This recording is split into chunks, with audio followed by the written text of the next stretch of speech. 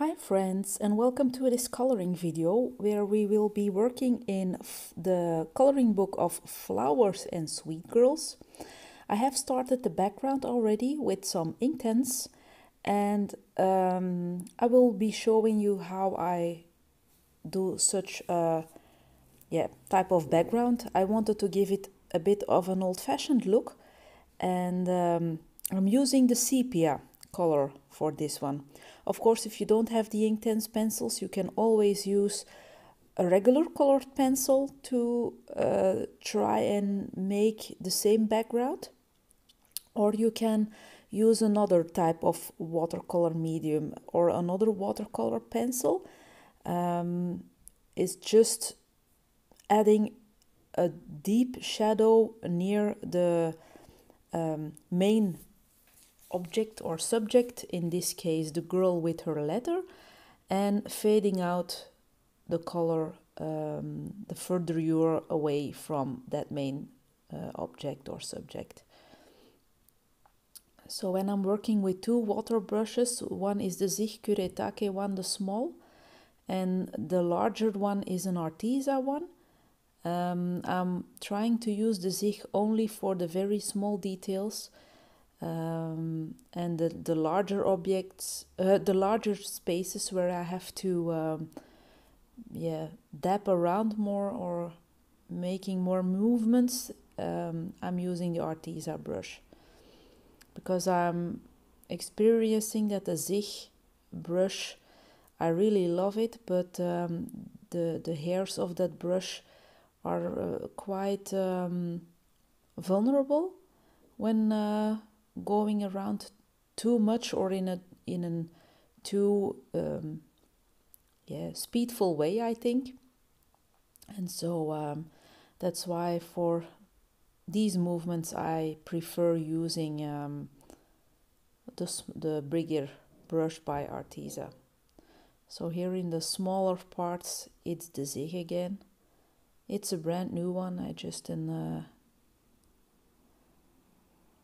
did the plastic foil uh, away from it.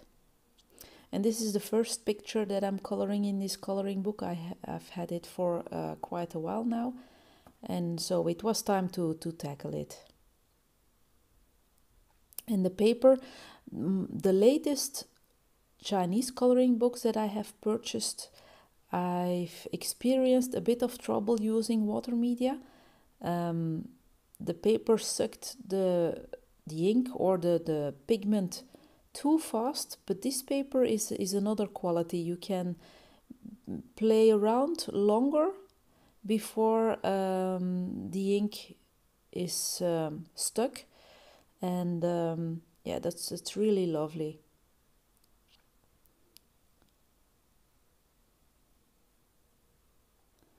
So um, I will not be coloring in the whole picture. I'm just uh, showing you some of the areas I'm doing and then um, I'll return with another um, yeah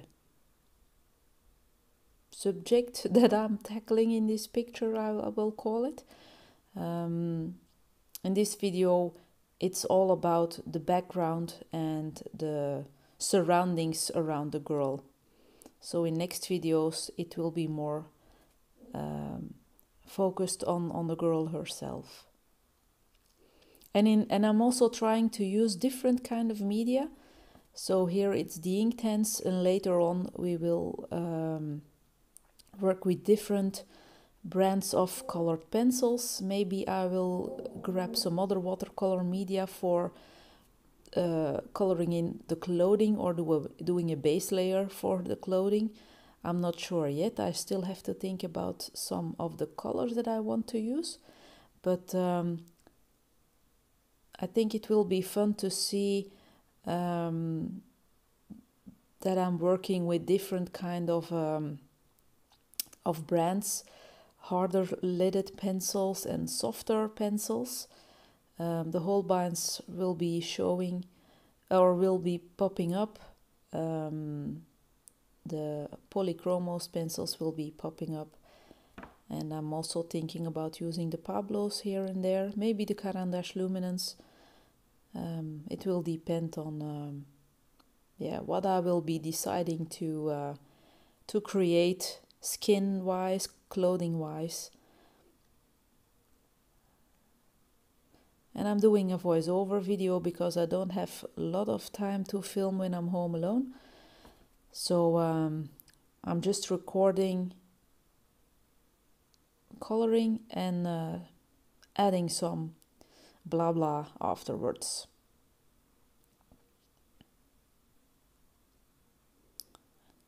So I'm always putting near an object or near a subject some darker colorings or some darker zones and then uh, fade them out. It's just wherever you want some darkness, you can put it down and uh, yeah, play around with the ink or with the, the color pigment if you're using uh, watercolor paints.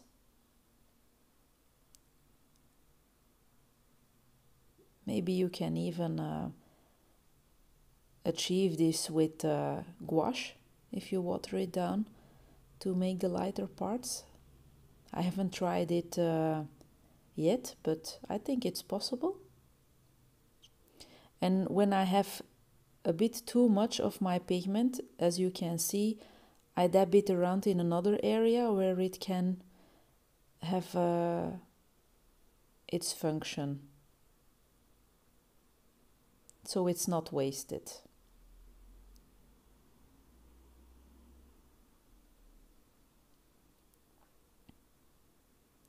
This book is by Dadamao, I think. And there's another coloring book in the same style that I'm eyeing for. It's um, about wedding dresses. And um, some of the drawn girls remind me of some Disney figures. There's one lady, and she's so. Uh, uh look, uh, she's, she's a resemblance of Belle of Beauty and the Beast, and wow, it's so beautiful. So I might get that book. I'm still thinking about it because I've already so many Chinese coloring books and I still have to tackle a few. So I'm very glad that I'm working in this one today.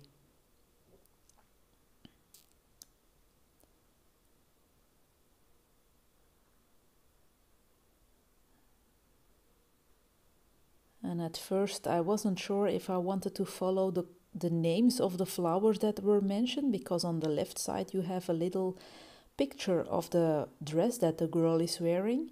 And this one is called hyacinth. And I've looked up the hyacinth flower because I know that I know them by um, look, but not by color. And hyacinths come in different colors. So I've decided to go for a pink one and as you can see, I've already colored in the bottom ones with a fuchsia Inktense and I'm just scribbling around. As you can see it's a very basic layer. And we will go over these flowers with some Holbein pencils. So a hyacinth comes in different colors. And that was very convenient because yeah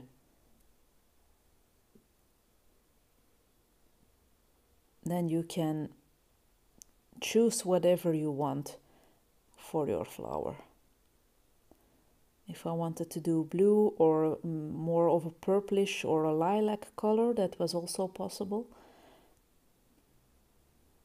But because it is quite poppy near the sepia, I thought fuchsia was a great color choice.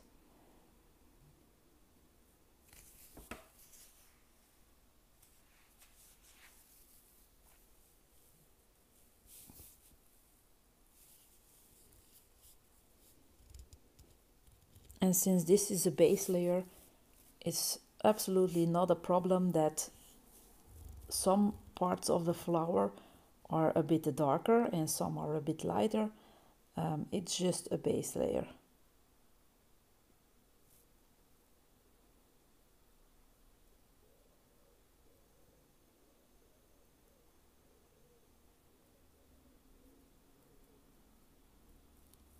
And I think this is a lovely way to color in a picture on camera, but not doing everything on camera. So I can color in some parts beforehand and show you what I did on yeah the leftovers I will call them.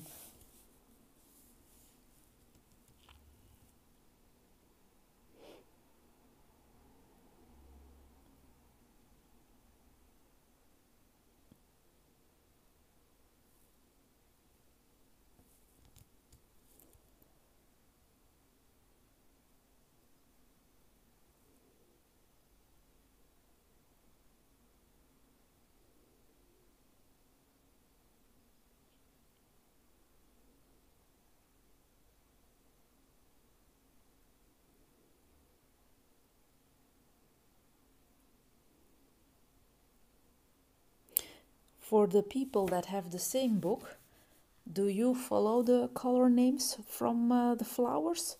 Like, for instance, there is a girl or there is a dress called Clover. And yeah, of course, Clover is green. So, do you color in that girl with a green dress or are you running free and, and choose a yellow dress or a pink or an orange? Um, I'm curious how you. Uh, how you decide on uh, on colors. I sometimes I feel a bit blocked um, when seeing a name, and yeah, then it's sometimes difficult to step aside for me and to decide to uh, use another color than that one. So, and now we're going into another part. So here I've colored in the bottom flowers and one of the flowers above with the Holbein pencils. So I've used a strawberry color and the cherry blossom. I will be showing them right here.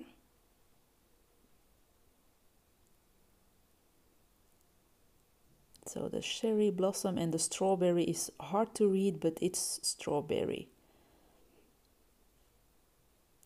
And this is also very simple, but it gives a lovely touch, I think. So the base layer is quite basic. And now I'm just adding some um, yeah, details into the petals. I've seen a hyacinth like that with um, a dark center and lighter areas around. So I thought I would follow that kind of yeah um, hyacinth um, yeah hyacinth family I will call it because as I've said before there are other colors in this flower family so I've chosen the the pink one with the darker center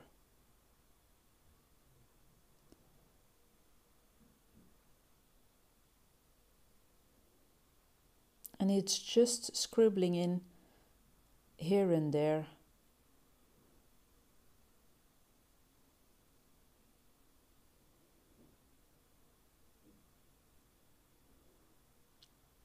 And of course, just like with the other colors, you can use whatever pencil brand you want. The Holbeins are quite soft, but um, it's certainly uh, also doable with a harder leaded pencil. But I wanted to, to feel how they would work on this paper. So that's the first part. And now it's really nothing special. I'm just coloring in and coloring over the darker parts without any special technique, just fading out the colors. And of course, the base layer of the Inktense will also be a bit lighter and softer.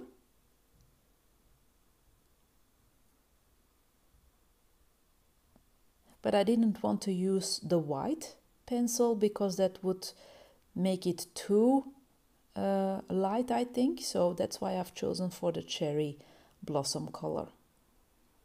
So just to soften it out, but to still have a beautiful base layer of pink. And then we will we go over the uh, petals again, just a little bit with the strawberry. And that's about it.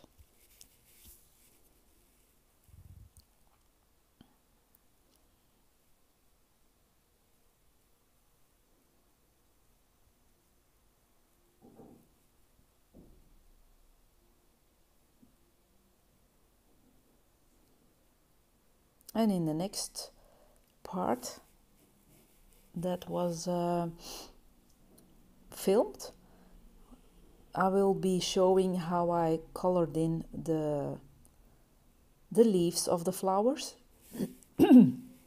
Excuse me.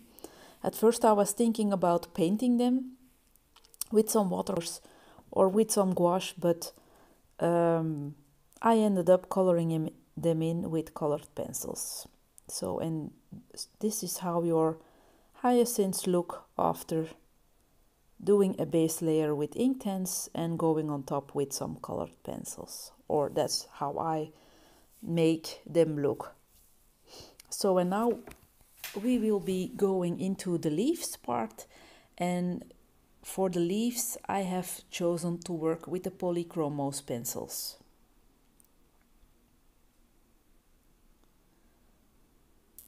and the colors are quite bright and poppy but um, considering that the background is a sepia color and a bit old-fashioned looking I thought it was nice to have some bright colors.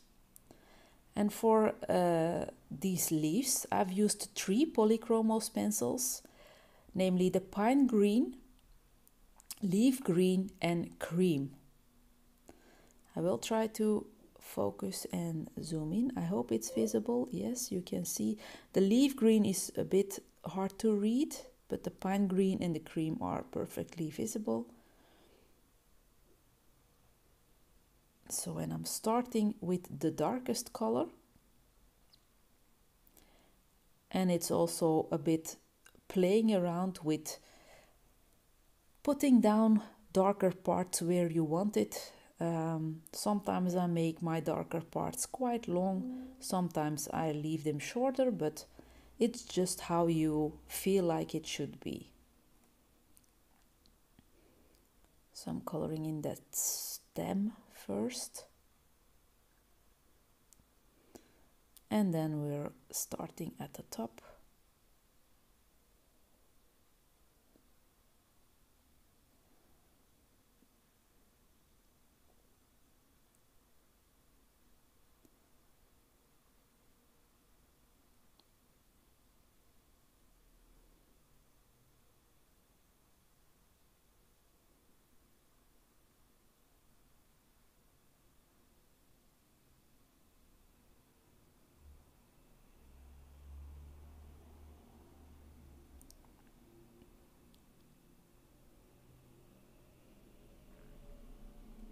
and then we're going in with the leaf green. It's a very poppy and a very bright color. And I'm always fading out. I'm starting quite heavy-handed. I've noticed that I'm more heavy-handed on this picture. I don't know why. Um, sometimes I can really have a light hand but now I had a, a strong hand. And I don't like coloring in with a strong hand. I prefer going in with a light hand, but I don't know why I did it. Yeah, maybe it's an under underneath tension that I was feeling. I don't know, but um, I'm a bit insecure filming without talking. I must say, but um, maybe that was why I was a bit heavy-handed. I don't know but nevertheless, I like the result and um, I hope you like it too, of course.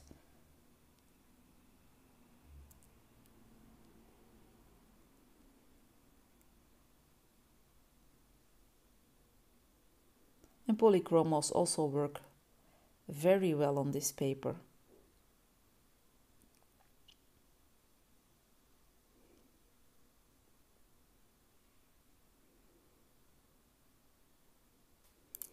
Now I'm adding a bit of extra shadow on the side to give it, yeah, extra detail.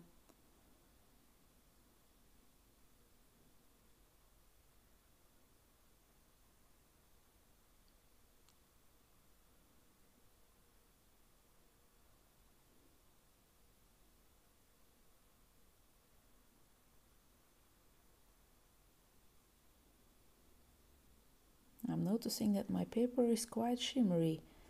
I didn't see that yesterday while coloring in. So I'm sorry if it's a bit glare full. But you've seen the basic. It's not very difficult to color in these flowers or these uh, leaves, I'm sorry. And I really like the the bright and the vividness of it. I'm very happy to finally tackle this book because when I buy a book and I don't color in in it quite quickly, I feel quite guilty, but I know from experience that sooner or later I grab at such a book that hasn't been colored in and that everything is okay and that I did do a right thing with buying it, that it wasn't a lost uh, cost. I have some regrets after buying books, but not that many, luckily.